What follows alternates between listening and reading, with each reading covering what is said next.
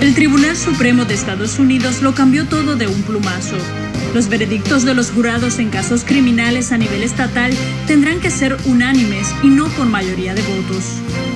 Las autoridades en la isla comenzaban a prepararse cuando de manera sorpresiva el Senado quiso que el nuevo dictamen fuera retroactivo. Sin vistas y sin escuchar a las víctimas, los senadores aprobaron el proyecto. Es decir, apoyaron que los casos ya resueltos con veredictos por mayoría podrán ser declarados nulos y empezar todo desde cero. Víctimas, convictos, abogados y fiscales. ¿Cómo todo esto impacta y afecta a la justicia en Puerto Rico? Esto y más en Jay y sus rayos X. Buenas noches, más adelante verán jueces, ex convictos, personas que opinan objetivamente de esto la gente que defiende el proyecto. Pero antes de ir al programa en detalle esta noche, queremos recordarles que en este programa hemos demostrado un compromiso con la causa de personas que fueron juzgadas y que están cumpliendo condenas injustas. Hemos sido solidarios con esa causa. De hecho, tal fue el caso de los que ahora son los libres de Aguada, de Aguada, Puerto Rico, que ustedes vieron que nuestro primer programa y de hecho le dedicamos cinco programas a personas inocentes que un testigo estrella estuvo inventándose evidencia admitida por él y aún así lo declararon culpable. Le dedicamos otros programas adicionales a María Judith, quien estuvo 14 años presa. Y también, como recordarán, estuvimos detrás de ayudarla para crear conciencia de que ella era inocente. Uno de los momentos más gratos desde que hacemos este programa que yo he hecho fue llevar a María Judith a su primer deseo que fue comer cheesecake. Esa noche en este programa Tatiana Ortiz y yo la llevamos a comer cheesecake y pizza en Bayamón. Lo mismo ocurrió con Edwin Díaz y así hemos demostrado un compromiso con la lucha de personas convictas injustamente personas que le fabricaron casos, personas que testigos admiten que se les pagaba o se les beneficiaba gracias a que testificaban en contra de esos que estaban en cárcel, personas que aseguraron ante nosotros, yo viajé fuera de Puerto Rico y fui hasta un estado que no me permiten decir por un acuerdo con el testigo. Yo fui y me senté a hablar con un testigo que nos contaba cómo él, no en uno, en múltiples casos en los años 80, básicamente le decían lo que le convenía a ciertos policías y ciertos fiscales para empujar el interés de esas personas de encarcelar a fulanos y menganos y él se lo inventaba todo con tal de que a él básicamente lo dejaran libre de las fechorías que había cometido. Me consta, me lo contó a mí, no a fulano, a mengano. Y como él, otros tantos eso ocurre y es una tragedia. Tenemos una caja de casos que estamos trabajando y que sabemos que muchos de ellos merecen un nuevo juicio.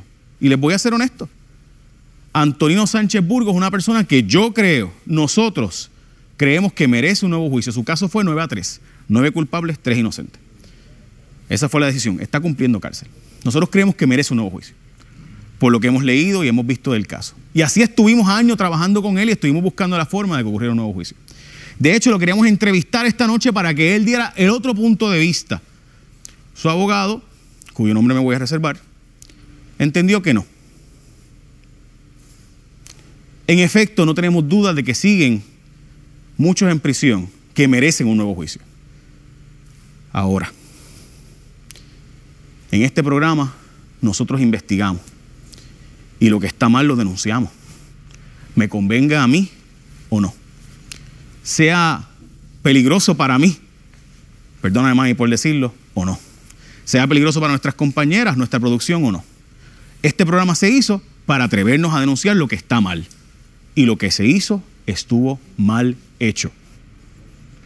El dolor de las víctimas, las implicaciones de esta ley de hacer retroactivo lo que el Tribunal Supremo de Estados Unidos dijo que no era retroactivo. Expresamente la opinión, de, la opinión del juez Alito dice que de aquí en adelante, revocando el caso de Apodaca, de Oregon, expresamente el Tribunal Supremo de los Estados Unidos dijo a sí mismo, de aquí en adelante tienen que ser unánimes en todos los Estados Unidos. Y eso aplicaba a Puerto Rico. De aquí en adelante. No dijo de aquí para atrás. De hecho, para que ustedes, pueblo de Puerto Rico, sepan, el Tribunal Supremo es el federal, el de los Estados Unidos. El Supremo de verdad decidió adoptar, o aceptar, perdón, dar el certiorari para aceptar que el próximo caso de Banoy se resuelva y lo va a discutir este verano. O sea, estamos a cuestión de días de que el Tribunal Supremo de Estados Unidos diga si hay que aplicar retroactivamente o si no se debe aplicar retroactivamente el que tenga un derecho a juicio por unanimidad y no mayoría. Pronto, mucha gente, gente que ha tenido casos históricos en Puerto Rico, podrían salir libres, bajo fianza, con el problema de la falta de policías que tenemos, con el problema de oficiales de custodia que tenemos, con el problema de monitoreo de personas que saldrían libres en arresto domiciliario o las condiciones que establezca el juez. Esas personas van a estar libres bajo fianza. Y el juicio que ya ocurrió y que un jurado determinó por mayoría es como si nunca hubiera pasado. Yo quiero esta noche que ustedes vean algunos de esos casos, porque esto parecería a veces ser la pelea entre Jay y el otro analista ¿O es la pelea entre los abogados y los fiscales? Yo quiero que ustedes vean los casos que se reabrirían de esto ocurrir.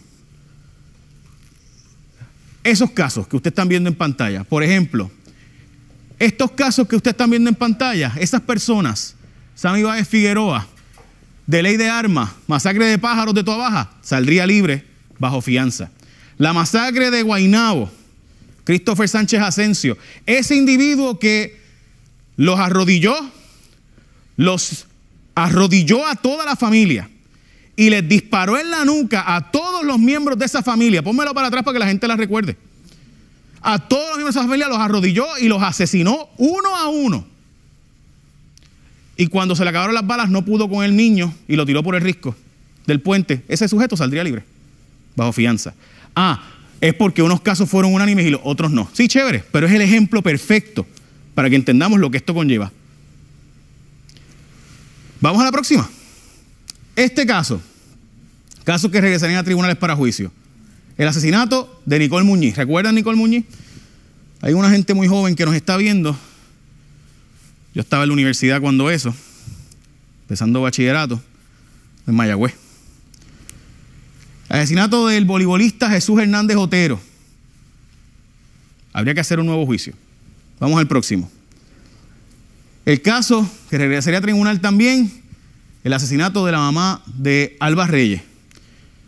Mujer que estaba en su casa, tranquila, viendo televisión con su hija. Una noche como esta que usted, como usted que nos está viendo ahora. Y de repente llegaron unos sicarios y empezaron a disparar. Y ustedes saben lo que pasó. Ese caso tendría derecho a nuevo juicio. De hecho, ya este caso lo tiene. Además, asesinato del policía Antonio de los Santos Barbosa, igualmente. Próximo.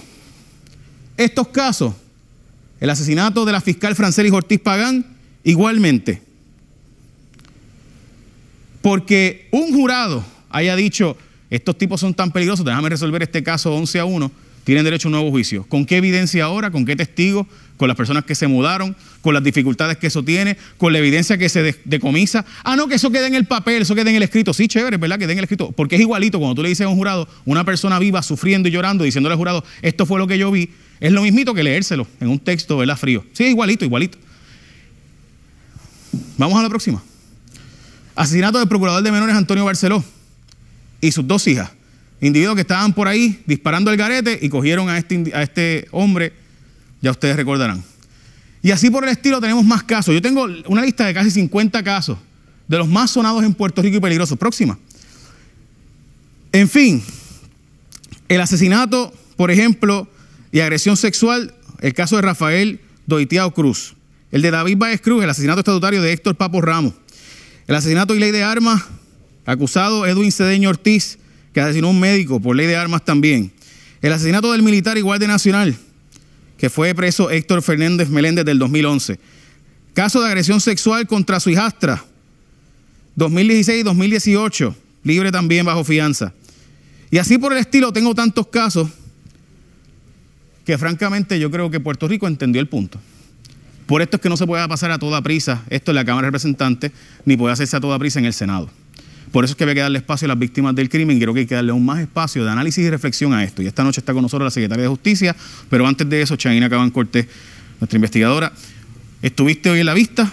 Me gustaría que nos dijeras qué pasó hoy eh, en el proceso donde se suponía que escucharan a las víctimas, pero también trajeron a todos los profesores y abogados de derecho de defensa que plantearon por mucho tiempo también el punto de vista de ellos nuevamente, que ya se había planteado la vista del Senado. Correcto, Jay. Yo quiero enfatizar que el espacio que le, que le proveyeron a, las víctimas, a, los familiares, dada la situación del distanciamiento social, fue alejado eh, de, de donde estaba ocurriendo a la vista cameral.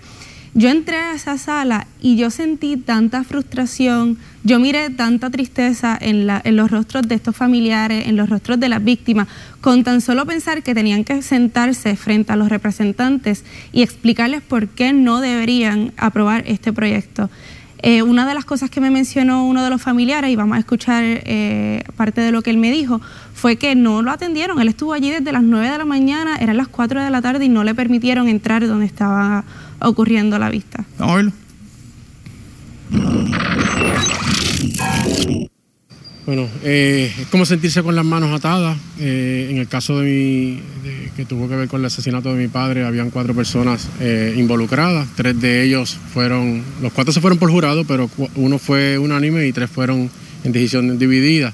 estas tres personas estarían ahora, le estarían dando la llave para, pues, para poder tener un nuevo juicio, cosa que nos sentimos con las manos atadas. Yo confío en el departamento de, ¿verdad? Los fiscales del Departamento de Justicia, pero eh, me preocupa mucho el proceso nuevamente, primero porque vivirlo, revivirlo, mi familia, tener que afrontar esto ya cuando ya las cosas, ¿verdad? El agua ya como que estaba llegando a su nivel, ya había un poco de tranquilidad. Esto es como volver a ver, o sea, volvernos a matar, volvernos a dar otro, otro, otro golpe tan fuerte. La verdad que nos sentimos con las manos atadas porque eh, no vemos viabilidad ahora mismo porque, ¿ves? ¿Y si no aparece el testigo del caso? ¿Qué va a pasar? ¿Ves? Eh, eh, el riesgo de nosotros, estamos pregando con unos delincuentes. ¿Qué va a pasar? ¿Dónde quedamos nosotros? ¿Dónde está la protección que nosotros sentíamos que teníamos? China, los datos importantes de esto. Mira, aquí yo tengo la ponencia del Centro de Salud y Justicia para Puerto Rico y ellos indican que en los estadísticos de la rama judicial desde el 2013 al 2017 ellos tienen 64.208 casos con resultados de condena. Lo, que todos mencionaban eran que no habían estadísticas suficientes para poder demostrar datos sobre cuántos casos eran eh, con unanimidad y otra cosa que mencionaban también es que no tenían un análisis de cuál iba a ser el efecto social, económico y si Puerto Rico contaba con, con una política de seguridad para proteger a las víctimas. Hay un planteamiento importante, entonces estamos hablando de que esto se aprobó sin siquiera saber cuántos casos son cuántas personas convictas pudieran terminar libres. No sabemos esos datos, esos datos no existen. No existen. O sea que pudiéramos estar hablando de que cientos de personas pudieran estar reclamando mañana su libertad. By the way, la fiscal Janet Parra dijo que no solo se debe ver el argumento de que personas por jurado, también las personas que se fueron por tribunal, en nuestros honorables tribunales, eh, ocurre también que eh, podrían plantear entonces, bueno, pues si yo hubiera sabido que el juicio era por jurado, hubiera planteado eso y voy a querer un nuevo juicio por jurado. Y habrá que ver qué resuelve nuestro Tribunal Supremo de Puerto Rico o el Tribunal Supremo de los Estados Unidos. Bueno, muchas gracias, Chayina Cabán Cortés. Desde que se aprobó este proyecto en Cámara y Senado, ha salido a reducir una palabra que se ha repetido en muchas ocasiones. Esa palabra es revictimización. Investigamos qué impacto tiene sobre las vidas de las personas que precisamente pasan por la experiencia de ser víctima del crimen.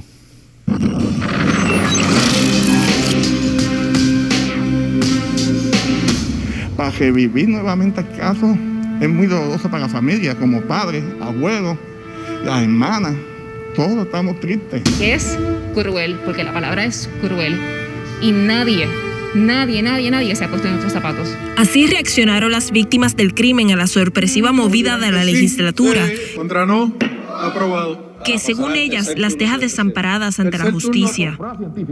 En el Senado, su presidente lo anunció junto a un grupo de abogados de defensa. En la Cámara lo hizo María Milagros Charbonnier, pero sin conferencia de prensa. Ambos buscan lo mismo, darle retroactividad a la decisión del Tribunal Supremo Federal que ordena que de ahora en adelante todos los veredictos de los jurados sean unánimes para lograr la convicción de un acusado. Sin embargo, el Supremo Federal no obligó a la retroactividad, es decir, no ordenó que en los casos ya finales y firmes se celebren nuevos juicios en aquellos en los que los acusados fueron encontrados culpables por mayoría del jurado y no unánimemente.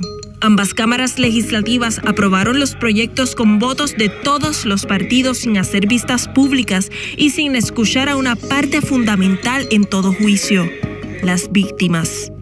Ana Valeria, un juicio es un proceso sumamente traumático.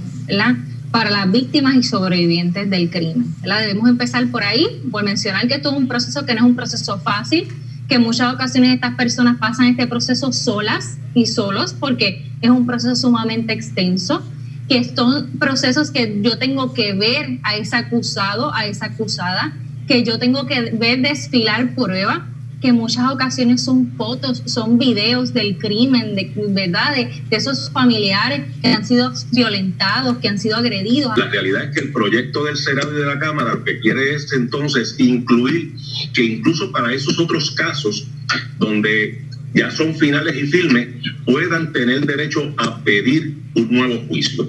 Y ciertamente eso tiene un efecto para las víctimas y para los testigos y para lo que consideramos que es la administración de la justicia. En los casos que tenemos ante la consideración del proyecto del Senado y de la Cámara, se le va a dar aplicación a todos y cada uno de los casos eh, que sean finales y firmes.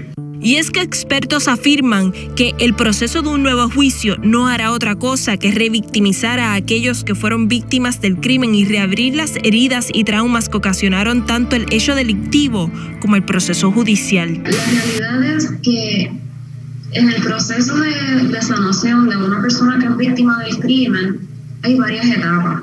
¿verdad? Y una de ellas es el sentir que se ha alcanzado obtener justicia en su caso cuando ya tú has cerrado esta parte y de repente existe la posibilidad, nada más por el hecho de que exista la posibilidad de que se reabra tu caso, cuando ya era final y firme la sentencia, ¿verdad? emocionalmente eso tiene unas implicaciones serias en cuanto a su bienestar eh, psicológico. Miedo es, es un síntoma muy común de las víctimas y sobrevivientes. Imagínense pensar que estos agresores, estos acusados o acusadas pueden estar en la libre comunidad y pueden estar cerca de mí nuevamente. Más allá de los traumas de la víctima, es también el asunto de si la prueba y testigos de los casos que se verían nuevamente estarían disponibles otra vez si se celebraran nuevos juicios. Y si no estuviese disponible, ¿qué va a pasar entonces con el caso? Se va a entender entonces que el Estado no la pudo producir, por lo tanto debe beneficiar la posición del, del, del, peticionario de este nuevo juicio. Y también, si el testigo se niega a declarar en este nuevo juicio y, el, y la víctima se niega a declarar en este nuevo juicio, por las razones que sea, hay una regla de evidencia que se cita en el proyecto del Senado, que es la 806, que permite testigos no disponibles. Y entre las razones que se dan para que la regla aplique está el que un testigo insiste en no testificar en relación con el asunto u objeto de la declaración a pesar de una orden del tribunal para que lo haga. Se va a empezar a dar órdenes a los testigos y a las víctimas para que declaren. Se va a comenzar todo un proceso de hostigamiento y de persecución para que esos testigos se vean en la obligación de declarar nuevamente. El hecho de que si son casos que llevan muchísimos años ya cerrados, el traerlos nuevamente implica que habría que buscar los testigos, que habría que montar el caso de nuevo y entonces esos testigos fallecieron o ya no están o no quieren, ¿verdad? Usted participar. Eso tiene otras implicaciones, ¿verdad? Mayores y estas personas pudieran quedar en libertad. Todas las personas consultadas coinciden en que el Estado les ha dado la espalda a las víctimas al aprobar un proyecto sin consultarlas y sin tomarlas en cuenta. Hay que darles y brindarles la oportunidad y los espacios para que ellos expresen cuáles han sido sus vivencias, cuáles han sido sus traumas, cómo han podido superar los daños ocasionados por ese evento de violencia sufrido hay que escuchar cómo ha sido su proceso de recuperación, su proceso de sanación, para luego entonces, ¿verdad?, tomar decisiones. Las víctimas del crimen no tienen un derecho constitucional de la misma manera que lo tienen las personas eh, que cometen los delitos. Así que yo creo que es un buen momento para iniciar esta conversación, eh, visibilizar esto ¿verdad? Porque sí tenemos la Carta de Derechos de Víctimas y Testigos del Crimen, que es la Ley 22 del 22 de abril de 1988. Y eso, ¿verdad? Tiene unos amparos para las víctimas del crimen. Conmigo esta noche la secretaria de Justicia, con quien estaremos dialogando luego de la pausa sobre la revictimización y el proyecto para anular juicios donde el jurado no decidió de forma unánime. O sea, debe aplicar la retroactividad. La secretaria de Justicia tiene unos puntos que creo que debe escucharse. Pero antes quiero que vayas a telemundopr.com y me digas si favoreces que se declaren nulos estos juicios. ¿Qué tú crees? Queremos saber tu opinión.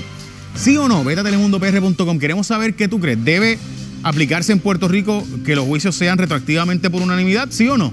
Dime tu opinión. Ve allí y dice, ¿favorece que se declaren nulos estos juicios? Queremos saber tu opinión. Beneficiario de Medicare. Bueno, con nosotros la secretaria de Justicia, licenciada Denise Longo Quiñones, ex fiscal federal. Saludos. Buenas noches, secretaria. Ok, nosotros tenemos una preocupación. Eh, yo creo que usted también la tiene. A mí me parece importante dar este otro ángulo, porque cuando se hizo la presentación en el Senado, se dio a entender que aquí todos estamos de acuerdo, la secretaria de Justicia parecía que estaba de acuerdo, eso fue lo que básicamente se hizo la presentación allí, abogados de defensa, prominentes analistas políticos, profesores, personas que, ¿verdad?, que, uno dice, bueno, pues estas personas son personas que saben mucho de derecho, están diciendo que esto es lo mejor, y parecería honestamente que todos estamos, estamos todos de acuerdo. Eh, honestamente, a mí me alarmó el proyecto por lo que implicaba la retroactividad, o sea, el concepto de que ahora toda esta gente, estamos hablando de retroactividad de 40 años, 30 años, 20 años, todos los años que sean por ahí para atrás. En el Departamento de Justicia, ¿hay la evidencia para sostener casos de personas que llevan 30 años, 20 años, para poder procesarlos nuevamente en un nuevo juicio? Jay, nosotros tenemos una preocupación genuina con esa propuesta de que haya una retroactividad que se puede llegar hasta 1948, que fue cuando se hizo el cambio para permitir la convicción por mayoría. Eh, como saben, en Puerto Rico mantener documentos, el requisito legal para mantener documentos es de 10 años. Eh, realmente tenemos el impacto también de María en, los, en la cantidad de los récords que había. Los casos que se vayan a llevar de nuevo, de personas que salgan porque su veredicto no sea unánime, ¿hay la capacidad en el Departamento de Justicia para poder volverlos a llevar? ¿Se puede conseguir las víctimas? ¿Se puede conseguir a los testigos, se puede conseguir los policías, se puede conseguir los peritos forenses, se puede conseguir. ¿Esa gente existe o realmente no hay, no hay la posibilidad? Nosotros reconocemos que eso verdaderamente es un reto que realmente puede ser casi ridículo. ¿Por qué? Porque realmente si estamos hablando de procesar un caso de hace 10 años, en Puerto Rico el número de policías ha bajado eh, en algún momento de 20 mil operativos, ahora mismo hay solamente 9.000. Eso significa que casi 11.000 operativos de la policía han dejado de estar en la fuerza, muchos de ellos yéndose al exterior. O sea que esas personas que hicieron esas investigaciones, que fueron las personas que procesaron esos casos, no están disponibles. Muchos testigos también, como sabes, en Puerto Rico tenemos muchas personas que se han ido al exterior. O sea, eso, implicaría tener que ir a buscar esos testigos fuera de Puerto Rico, lo que requiere mucho dinero porque esa, esos testigos para traerlos ellos tienen que estar disponibles, dispuestos y habría que pagarle el viaje y la estadía para hacer ese proceso. O sea que realmente es una propuesta completamente onerosa y quizá lo más terrible de la propuesta es que es una propuesta de imponer este requisito a pesar de que no hay ninguna evidencia ni ninguna alegación de que el proceso fue un proceso fallido. Tú estabas reseñando un poco eh, más temprano en, el programa el concepto de la solicitud de nuevo juicio cuando hay evidencia de que hubo algo impropio, de que hubo un testimonio incorrecto, cuando hay nueva evidencia exculpatoria. Ya nuestras reglas de procedimiento criminal permiten esa revisión. Pero hemos visto como personas como el caso de Aguada, que los han solicitado y no se le ha dado y después resulta ser que, ups, mira, sí, finalmente cuando ocurrió, vemos que gente sí ha salido. Y eso es otro tema. Y me encantaría tener la entrevista sobre la nueva reglas de procedimiento criminal, que me, me preocupa mucho lo que se ha permitido ahora de estas negociaciones para conseguir testigos que puedan ser, ¿verdad? Darle cero de pena. Pero eso es otro tema para otro día. A mí sí me preocupa que en este caso se le haga ver al país por personas nuevamente prominentes como que esto es algo positivo para el sistema y demás. Primero, la interpretación suya, secretaria, es que esto aplica de aquí para el futuro. No hay obligación para retroactividad, o sea que es una decisión voluntaria de la Cámara y Senado si aprueba que esto sea retroactivo.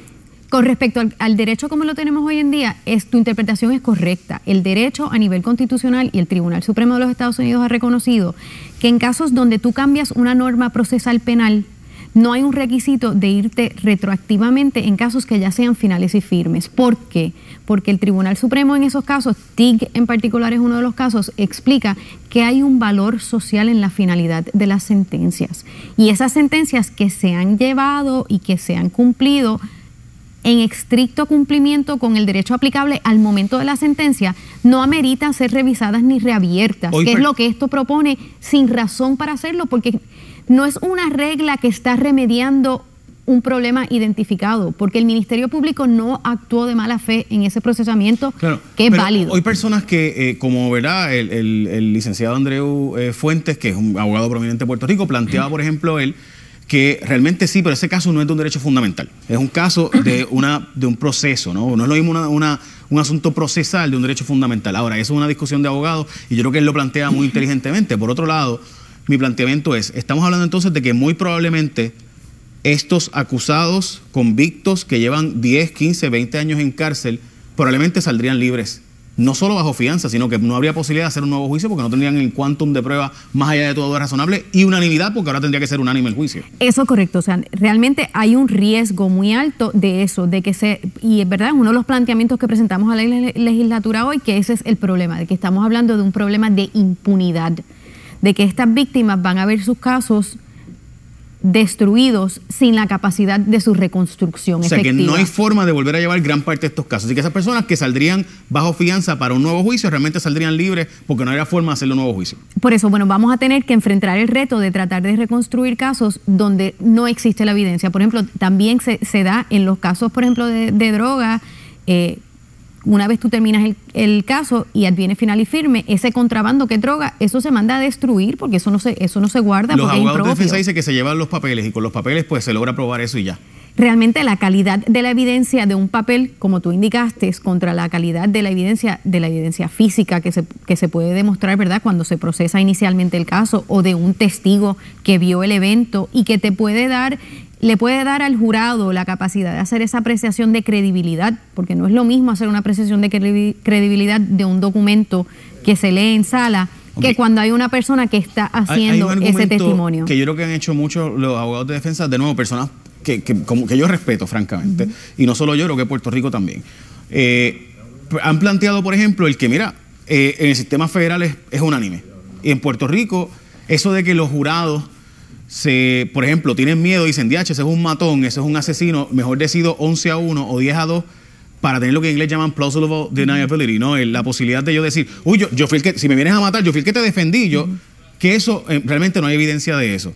¿Hay evidencia o no hay evidencia de que los jurados, ante el temor de que vayan a ser atacados por los acólitos del asesino que acaban de juzgar para siempre, deciden el caso 11 a 1, 10 a 2 para protegerse? ¿Tenemos prueba de eso o sabemos si eso realmente ocurre? Realmente recuerda que no existe de verdad bajo el derecho la capacidad de de preguntarle al jurado con respecto a las deliberaciones, porque las deliberaciones son secretas, o sea que no hay una, una, capacidad de que haya un proceso que certifique eso, la determinación de cómo el jurado llega a esa deliberación.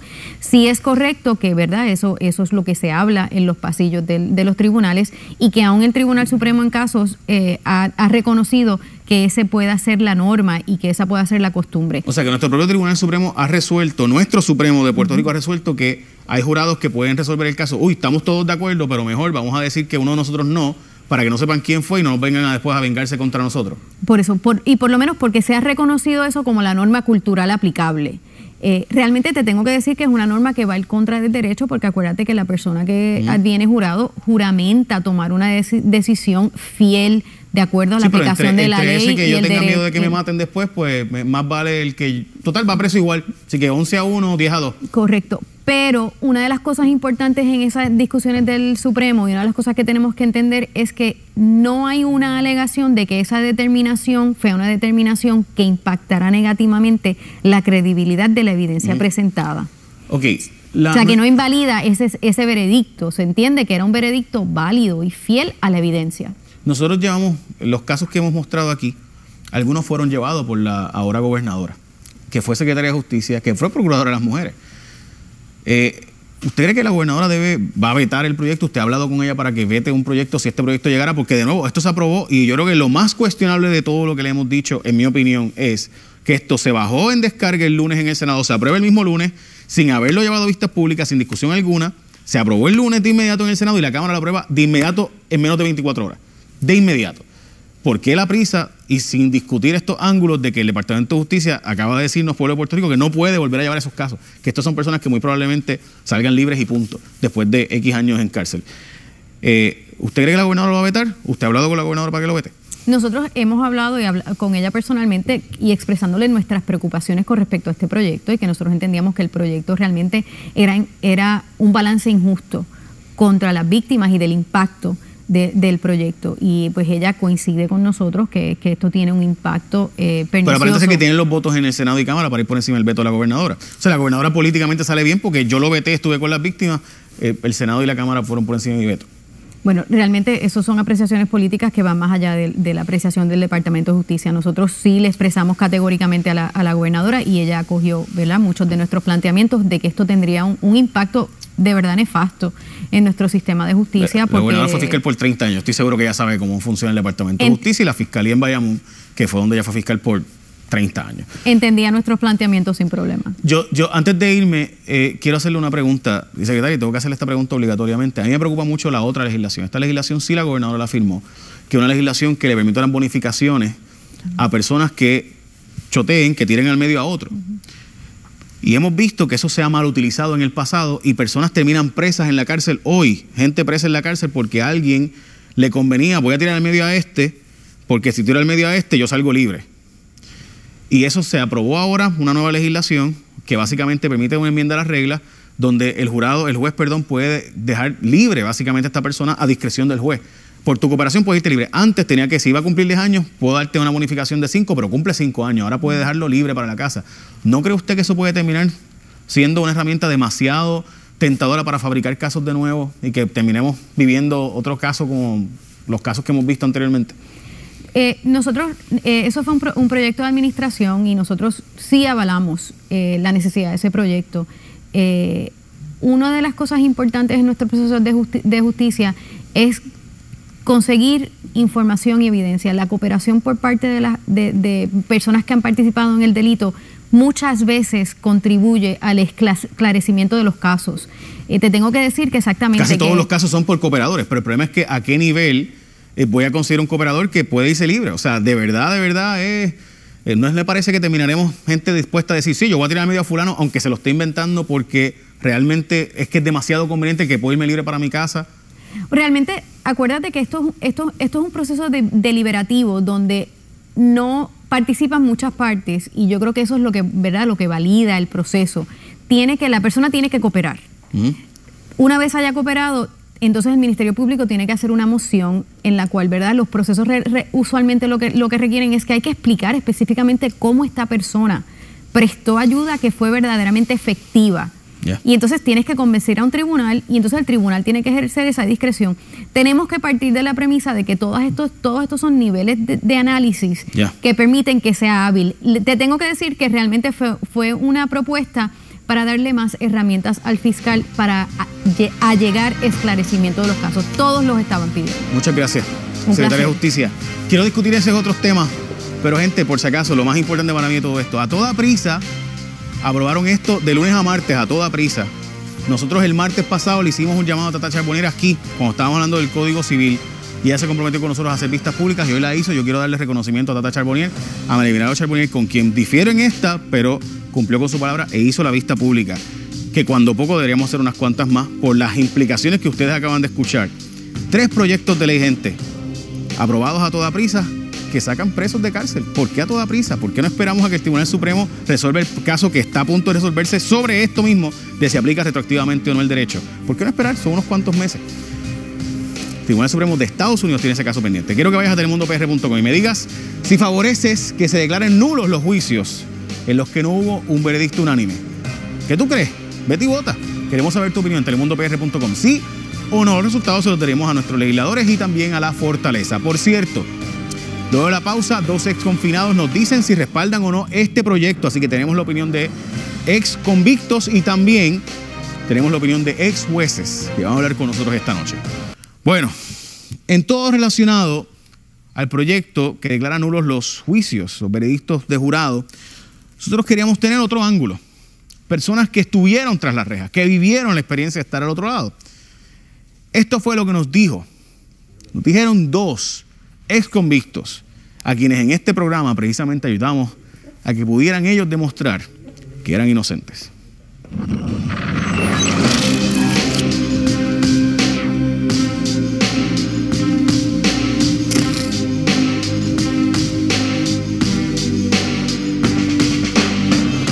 Veredicto por jurado de 9 a 3 llevó a José Caro y a otros dos coacusados a prisión. Fue un jurado que estuvo secuestrado casi dos meses, un jurado que estuvo ahí bajo, bajo años de presión durante una época navideña, alejado de su familia. Este, y pues tomaron esa decisión, diría yo que súper errónea. Durante 22 años estuvo tras las rejas siendo inocente es uno de los llamados Tres Inocentes de Aguada. En el 2016, el trío fue liberado luego que un juez dejara sin efecto el veredicto de culpabilidad y les concediera un nuevo juicio. Muchas veces, como pasó en el caso de nosotros, este, hay personas que son investigadores y fiscales que no son muy, muy muy honesto que digamos, son, diría yo, personas corruptas, quizás buscando posiciones, quizás buscando mejores sueldos, quizás buscando mucho la mejoría dentro del sistema de, de, su trabajo a su conveniencia. Es precisamente por todos aquellos presos inocentes que se encuentran en las cárceles del país que José apoya las medidas presentadas en la Cámara y el Senado para que todo veredicto de culpabilidad de un jurado tenga que ser alcanzado de manera unánime y que esto sea retroactivo. Yo creo en la inocencia de esos muchachos, que es el caso de, de, la masacre de Trujillo Alto, el caso de, de Yo diría que no todo el mundo apto para está apto para ser un jurado en, en, juicios así tan tan importante como serán a veces en las cortes. José asegura que durante todos esos años en prisión fueron más los casos que conoció de veredictos de culpabilidad no unánimes que los unánimes. Caro propone que se legisle para que se establezca una serie de parámetros a la hora de evaluar los casos que cualifiquen. Además del trío de Aguada, nuestro equipo de trabajo también investigó y expuso el caso de tres hermanos convictos por un doble asesinato ocurrido en una gallera de Nahuabo en el año 1999. De los tres hermanos, dos lograron la libertad luego que se probara que fueron convictos injustamente. María Judith Díaz Castro y su hermano Edwin luchan ahora por la liberación de su otro hermano David, quien permanece en prisión por otro caso de asesinato. En el caso de, tu hermano David, este otro caso, ¿fue por unanimidad? No, el caso se vio, se vio por derecho. Ok.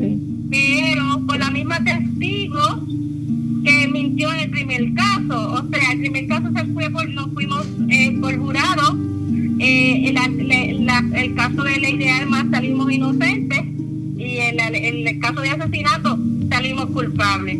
Su experiencia en prisión y la situación de su hermano llevó a María Judith a respaldar el proyecto para anular los juicios que fueron decididos por jurados no unánimes.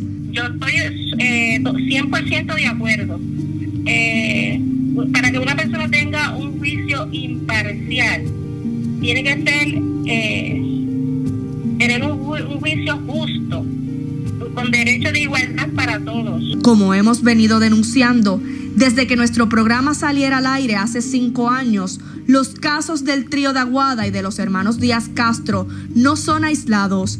Según el proyecto Inocencia, existen en las cárceles del país entre 300 y 600 convictos por crímenes que no cometieron. También dos ex jueces analizan los alcances jurídicos de anular juicios criminales y hacerlos de nuevo, hacer esto retroactivo, los jueces, los que presiden el juicio. Hablamos con ellos cuando regresemos. Los presidentes del juicio. Jurado es el que decide la culpabilidad o no, pero el derecho y los procesos y qué evidencia se acepta y qué evidencia no llega al jurado es el juez. Por eso es que es tan importante el rol del juez. Tenemos a la licenciada Ana Belén Turbe, eh, quien estuvo trabajando esta historia para hablar con estos jueces. ¿Qué ellos dijeron? Correcto, Jay. Hablamos con dos jueces. Uno de ellos es el quien fuera juez del Tribunal de Aguadilla, Reinaldo Franqui Carlo. Él fue el juez que atendió el caso de los tres inocentes de Aguada, como popularmente se le conoce. Y el juez que, eh, del Tribunal Apelativo, Iram Sánchez, hay que mencionar que sus posiciones ambas son totalmente contrarias, uno a favor, el, juez Frankie Carlo, y eh, el juez Iram Sánchez a favor, en contra, debo decir. Eh, tienen unos puntos muy válidos, el que el juez que es detractor, sus planteamientos son los que hemos discutido durante el día de hoy. Eh, prácticamente la falta de evidencia que va a haber cuando estos casos resurjan, la revictimización. La, posición del profesor Chiesa de la Universidad de Puerto Rico, que es la Biblia ¿verdad? del derecho eh, penal procesal, especialmente en Puerto Rico, Chiesa dice. ¿Cuál es la prisa? Si esto lo va a resolver el Tribunal Supremo en un par de meses. O sea, el Tribunal Supremo de Estados Unidos va a resolver esto. Esa es la posición del profesor Chiesa. Eso lo menciona el juez Iram Sánchez. Él comenta que esta, esta controversia ya va a ser atendida en Edwards versus Banoy, que eh, ahorita lo comentaste. Esto ya se está viendo ante el Tribunal Supremo de los Estados Unidos, así que no hay razón para atenderlo así de, a la prisa. A la carrera no hay razón. Vamos a escuchar lo que nos dijeron ambos jueces. No creo que exista ninguna dificultad en conceder un nuevo juicio a esas personas, porque naturalmente hay que tratarlos, esos son derechos fundamentales y hay que darle la, igualdad a todos ciudadanos. Es que hay que ir a récord para uno verificar en el expediente cuál fue la votación del jurado. Esa es una estadística bien difícil. Nadie la, yo entiendo que en estos momentos muy pocas personas la tienen. El verdadero problema realmente es que yo creo que es un error de la Asamblea Legislativa salir corriendo así sin ton a, hacer retroactiva eh, una decisión como la del caso del Tribunal Supremo de Estados Unidos, sin que tengamos el beneficio todavía de cuál va a ser eh, la norma constitucional eh, del Supremo de Estados Unidos a los casos que ya se vieron y que ya están cumpliendo sentencia, que es lo que realmente preocupa. El pueblo de Puerto Rico en el 1952, en el ejercicio de su, de su eh, soberanía delegada, resolvió, eh, decidió que nuestros juicios podían ser de 9 a 3. Un, un veredicto 9 a 3 o 11 a 1, 10 a 2, no es inherentemente injusto como se ha querido hacer ver, es un, es un veredicto eh, que no, no requiere unanimidad porque los puertorriqueños lo decidimos hacer así en 1952. O sea, importante que se entienda que nuestra constitución establece que pueden resolverse así y que el Tribunal Supremo de Estados Unidos resolvió que nuestra constitución, la de Oregon y la de Luisiana, de aquí en adelante tienen que ser unánimes, revocando a Podaca del 72-73.